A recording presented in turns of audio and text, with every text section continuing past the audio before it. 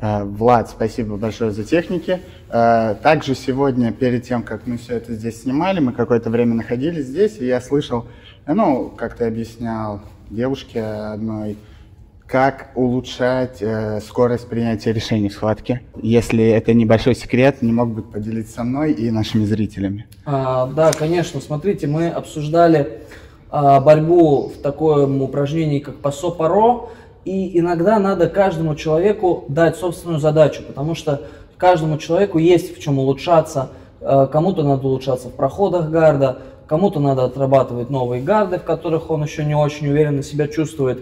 А, и вот смотрите, то есть я не вижу большого смысла лежать условно во время пасо паро 40 минут а, в одном и том же гарде и делать всегда всем один и тот же свип. Условно говоря, если мы берем человека, который борется лучше всех в группе, то есть, условно говоря, он умеет делать хавгард, хорошо в нем работает, и всем делает, там, условно говоря, одинаковый свип со вставанием. Он его и так умеет делать.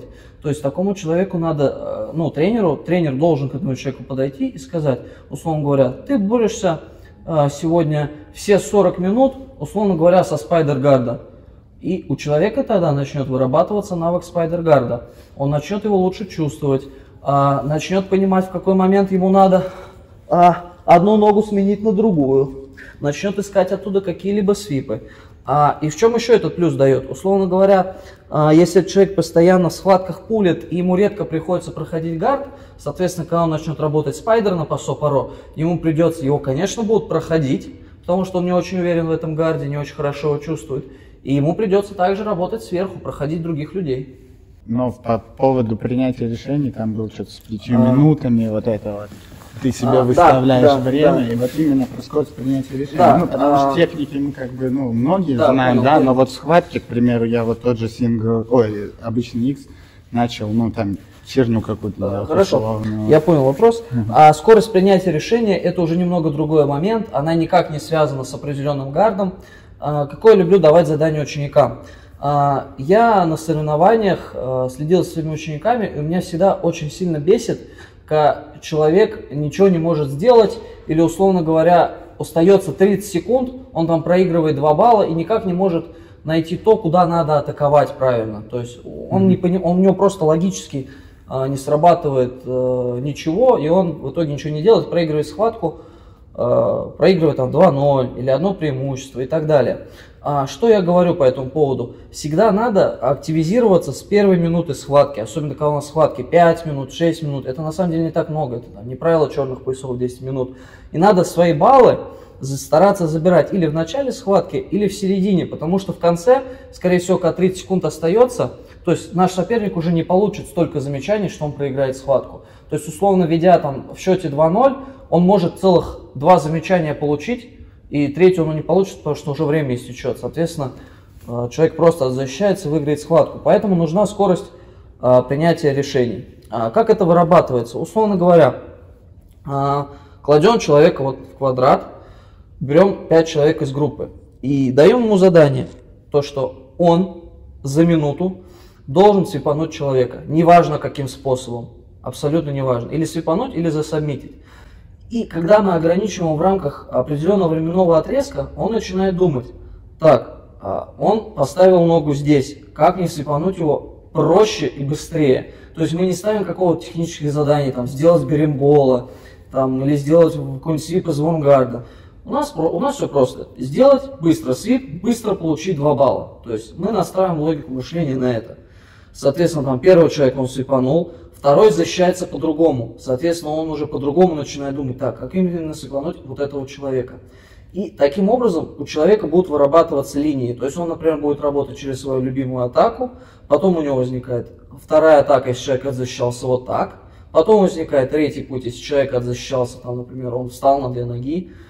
И таким образом будет выстраиваться цепочка, и мыслительный процесс будет улучшаться. Ну, это лично мое мнение, mm-hmm. и у меня, если честно, я вижу, что ученики за счет таких упражнений начинают прогрессировать. А, могу пример привести а, одной из цепочек? А, можете сесть на коленях? Вот, словно говоря, на... я там сам себе даю задачу а, слепануть Назара меньше, чем за минуту. Допустим, если он будет продолжать сидеть на двух коленях, естественно, какая у меня атака первая? А, для меня это ножницы. То есть вот, я начинаю выходить на ножницы. Если он не отзащищался, отлично. Я, скорее всего, заберу 2 балла, то есть выполню задание. А как обычно люди защищаются? Они выставляют правую ногу вот здесь. Соответственно, у тех, кто это упражнение не делает, не знаком с этой позицией, когда так защищается, у него будет такой типа, все, человек затупил, он не знает, что дальше делать. Вот здесь мы дальше будем отрабатывать. Соответственно, я понимаю, он поставил ногу, у меня ножницы уже не пойдут. Мне надо быстро переключиться с ножниц на другой свип. Что лично я отсюда сделаю? Я со левой ногой закручусь, оп-оп-оп, подлезу сюда в долариву. Здесь а, я, скорее всего, сделаю берембола. То есть он завалится, заваливайся, заваливайся, заваливайся. Да, вот здесь с помощью берембола завалю, возьму 2 балла. Бывает еще сложнее ситуация. Смотрите, можешь опять то же самое. Ага, у нас человек стоит на коленках, мы пошли на ножницы, он выставил ногу, я вкручиваю берембол, он выставляет эту руку очень плотно. Да, соответственно, мне третий раз надо переключаться. Я понимаю, так, он выставил руку, что мне надо делать? Я здесь выхожу на обратный рычаг, на какую-нибудь вот эту тему. От обратного рычага он защищался. Мне, четвер... да, да, да. Мне четвертую атаку надо придумать. Я здесь выхожу на кимуру. Скорее всего, я уже туда делаю, потому что, ну, а, тяжело, ему, верхнему тоже тяжело переключаться между защитами, и вы это тоже должны понимать. Если он 3-4 раза переключился, это тоже значит, что наш в группе очень хороший уровень, потому что на каждую нашу атаку нам отвечают правильной защитой. И вот после такого задания у нас, соответственно, будет линия. Атака такая, человек отзащищался. Мы продолжаем его атаковать другим э, техническим действием. Третий раз защищался, опять атакуем. И на четвертый раз, на пятый максимум, человек точно заберет свои два балла. И на этом упражнении мы как раз учимся и улучшаем наш навык в быстроте принятия решений, в логике мышления.